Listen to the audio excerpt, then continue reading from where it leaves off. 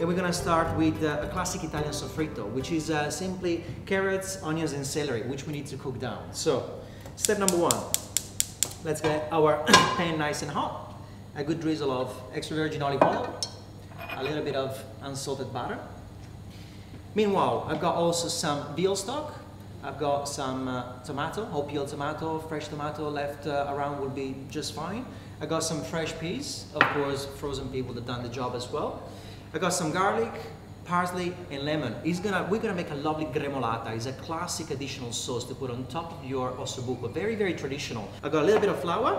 As we need to do every single time, we need to dust the ossobuco in flour. It's gonna create a lovely crust once we're searing our veal ossobuco. And it's gonna allow all the lovely juices to stay within the ossobuco and it's gonna maintain it lovely and succulent. Okay, so we're gonna start by adding onions, which I chopped fairly roughly and diced because they're gonna cook for several hours, so they don't need to be cut up too small. Then I'm gonna go in with the carrots, and then finally with some celery. Now all we want to do is just to try to get them to cook down a little bit and get all the lovely natural sugar out of it to create a, a little bit of caramelization. That is going to add a lovely sweetness to our tomato without having to add any sugar to our tomatoes. I'm a little bit against adding sugar when we're cooking with tomatoes. Tomatoes, if they're good quality as we chose today, they shouldn't really require any additional sugar. Try to get a little bit of sweetness out of the caramelization of your vegetable rather than adding any sugar. As the vegetables are cooking, next step, we're just gonna start seasoning the ossobuco. Be generous with salt and pepper on both sides, obviously.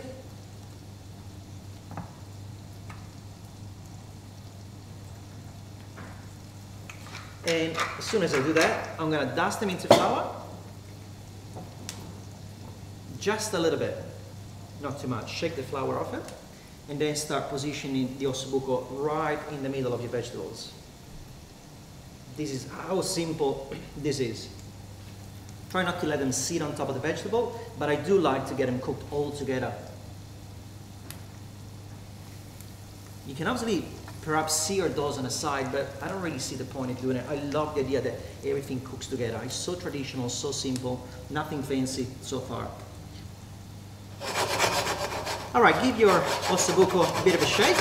And all I'm looking for right now, actually, we're just gonna pick up the ossobuco, have a little bit of look, and looking for that lovely, nice golden color, which is not quite there yet. So obviously we've got a couple of minutes. My very next step is gonna be some uh, good quality, good wine. And always make sure you use, make an effort using some good quality white wine. If it's not good enough to be drunk, you know, you shouldn't really be using that for cooking either. So don't spend $100 for your bottle of wine, but you know, make an effort getting something quite nice.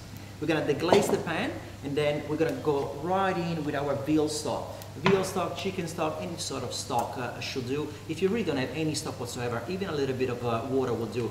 The idea is just to create an extra moisture to allow our lovely ossobuco to cook in nice and even. It's kind of a braise style. That's pretty much what we're doing here. Then I got some tomato. Tomato perhaps is a bit optional. It is a classic traditional recipe, but back in the days actually wasn't cooked with tomato. Uh, in these days, I, you know, my mom kind of made me grow up with ossobuco with a touch of redness through it. So I love always to have some leftover tomatoes, or I always have a can of uh, uh, tomato in the pantry, and I love to add that additional lovely red uh, uh, color and deep flavor to my ossobuco. Okay, they're picking up enough color, so I'm happy to turn them around. Another two to three minutes on, uh, on this side. Meanwhile, while all of this is happening, I'm gonna make my gremolata. Gremolata, it's, uh, it's very, very simple. All we need to do is to grab some fresh basil, some garlic, and some lemon zest. I'm gonna chop these pretty, pretty fine. And if you can do this a couple of hours in advance, let me tell you, it's going to increase the flavor so much and it's going to taste a million bucks. So I strongly advise you to do this perhaps as a very, very first job when you step in the kitchen making your veal ossobuco.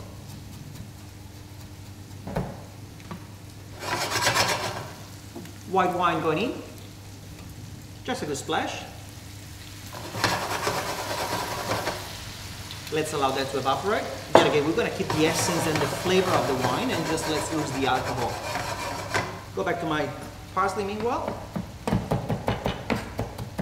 Doesn't have to be too small, but just make an effort to have it as small as you can.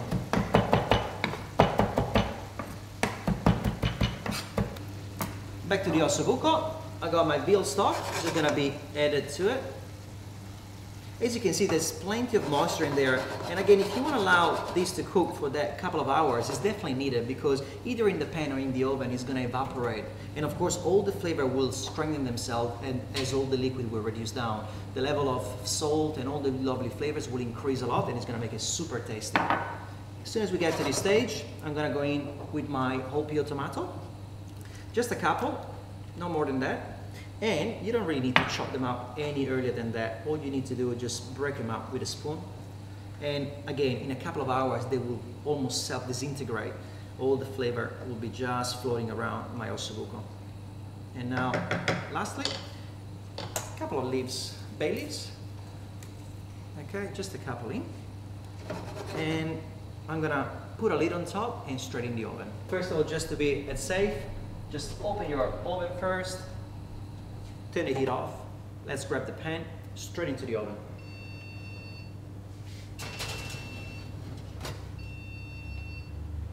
Oven preheated at about 160 degrees and this is all I'm after. Now it's very important, people always ask me, you know, is it important to use the right appliances? Of course it is. You want to have a good quality oven that cooks very, very nice and even. That will allow every single piece of meat in there, as much as it was for a souffle or whatever else, to cook nice and even. That takes about two hours. The idea is to have the meat that falls off the bone from the ossobuco. Ossobuco translates into um, bone with a hole, and this is exactly the, the bone that will be part of the shanks of where the ossobuco gets cut up. Inside we have the lovely marrow, the bone marrow, which is tons of flavor, and of course that will be melting through all of these lovely juices, and it's gonna make it taste just fantastic. So we're gonna kind of forget that for about an hour. We're gonna go back to it, turn it around, give it another hour. We perhaps let it rest a couple of minutes, and we'll be ready to serve it on top of our uh, risotto. Meanwhile, I need to finish my gremolata. So again, back to the parsley. Midway through it, I'm gonna get my lemon. Get yourself a zester or peel it any way you like. You just wanna get as much of the outside part of the lemon. Don't go too deep and pick up the white part because of course will be fairly bitter and it's not gonna be anything pleasant. Okay, and finally, I just need a clove of garlic, just crushed, peeled, and chopped. Now, this is entirely up to you. You can use the whole garlic clove. I think it's a little bit too much, maybe a little bit too strong. So just half a clove. It was quite a big one. And get everything chopped up together. So all the flavor already right now, we are, you know, coming together. Then we're gonna sieve these into a small bowl, pinch of salt and pepper, and a little drizzle of olive oil. We don't want to create a marinade, but just enough oil to allow all the flavors to come together.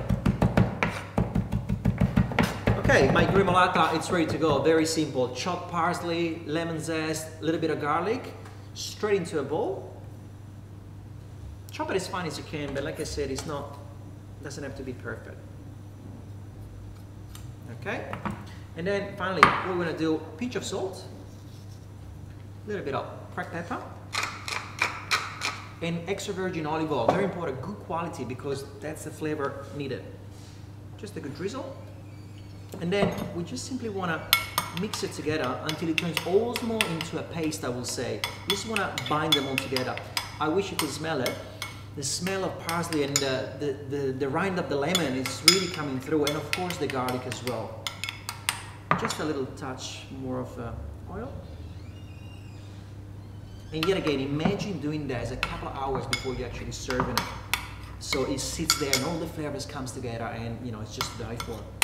So almost like a salsa verde. If you ever made a salsa verde, that's what probably consistency would look like, okay? So I'm gonna let these uh, sit aside until we're ready.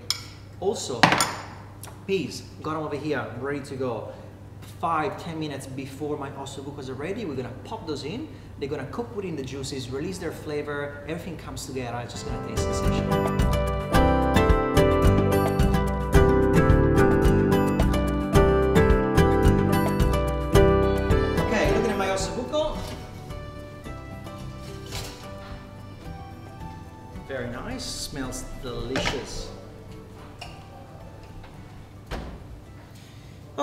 So plenty of juices over here. We can remove the ossobuco and then put a drizzle on top. You can reduce the sauce to thicken it up a little bit more, entire, entirely up to you.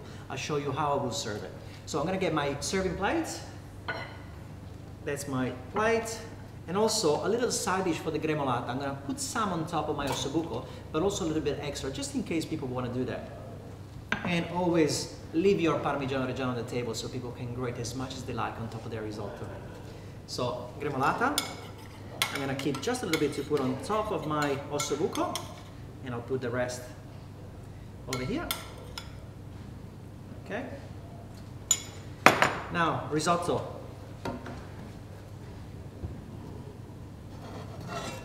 Give another good stir. Is exactly what I meant, nice and runny.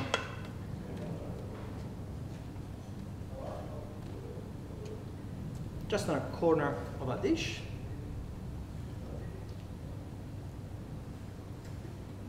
Okay. Next step, I want to get my ossobuco.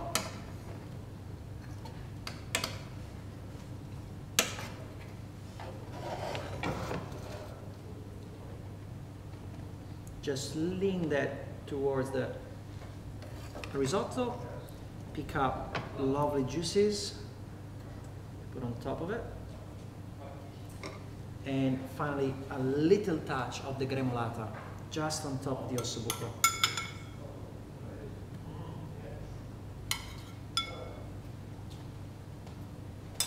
Okay, and I think job done. Where I come from, this is comforting food, it's traditional, it's Italian, doesn't get any more classic and tasty than that. I hope you've enjoyed it. I hope you're gonna give it a go at home. Please do it, you'll make my day. Enjoy.